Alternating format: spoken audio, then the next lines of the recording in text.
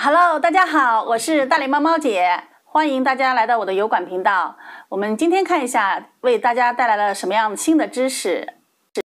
第二集，该工作室将从不同国家挑选影响力人物制作视频，并发布至网上。同样通过制作视频进行品牌推广的还有 Visa。作为世界杯官方赞助商，Visa 首席营销官凯文八千二百二十六。博客表示，Visa 目前将百分之三十营销预算用于数字媒体。Visa 使用 Facebook 来瞄准足球迷的其他兴趣爱好，与合作伙伴一起向他们提供优惠券。凯文八千二百二十六。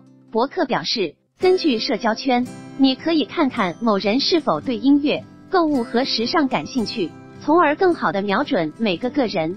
Visa 还邀请了来自全球三十二个国家的导演制作视频，通过 YouTube 展示如何在各自的文化中庆祝足球活动。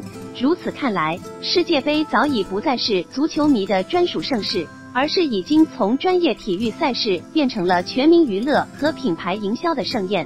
对于品牌主来说，借助世界杯必将成为提升品牌的大好时机。便是市场的营销角力。传统电视自然也是世界杯营销的重要阵地，体育赛事的播出向来与电视产品密切相关，因而各大知名电视生产企业对体育营销的重视也就不言而喻。当二零一四年四 K 高清电视技术日益成熟，销售全面进入提速阶段时，世界杯更是对其起到推波助澜的作用。于是，四 K 电视市场成为营销的又一大领域。想想看。凭借 4K 的临场感和冲击力，火力全开的射门，球员细致入微的表情，都将身临其境般尽收眼底。据了解，今年巴西世界杯第一次用 4K 设备拍摄和传输。尽管目前国内电视台还不能传输 4K 信号，但优朋普乐、乐视等视频网站表示将播放 4K 信号片源。根据市场研究机构 DisplaySearch 发布数据称。在巴西世界杯的带动下，全球 4K UHD 电视市场出货量预计将从2013年的一百六十万台增至2014年一千二百三十万台规模，年增幅近六七倍。在各大家电卖场中，4K 电视成为各商家的主打产品。针对巴西世界杯展开的主题营销活动也开办的有声有色。某家店卖场的工作人员向腾讯科技表示，世界杯掀起了了彩电销售的热潮。近期消费者询问的电视也以 4K 为主。世界杯前营销活动的力度较大。就在不久前，索尼公司与 FIFA 国际足联宣布将巴西世界杯中广泛应用索尼 4K 技术的合作计划。目前的计划包括拍摄 4K 版本的2014世界杯官方影片。并将制作三场完整比赛的 4K 内容。索尼作为国际足联官方合作伙伴，提供了丰富的 4K 产品线，从广电专业设备到一系列专业解决方案，以及电视、家用投影机、摄像机等民用产品。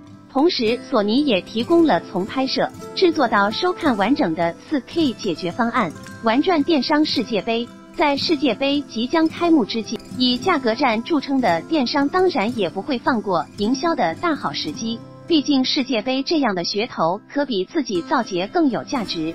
六月六日，国美宣布加入价格战，推出以世界杯为营销主题的决战三十二天大促活动。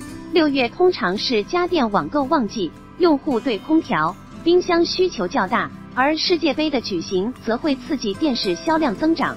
对以大家电擅长的国美来说，无疑是销售旺季。国美在线营销中心副总裁黄向平这样向媒体表示：六月十一日，苏宁也宣布推出运动户外频道。与此同时，苏宁还正式对外宣布，公司与国际著名足球俱乐部巴塞罗那俱乐部达成合作。双方达成合作后，苏宁将成为巴萨中国区粉丝官方合作伙伴。在苏宁易购站内和 PPTV 建设巴萨频道，建立巴萨中国球迷的官方互动渠道，获取巴萨授权的专属资讯和图片。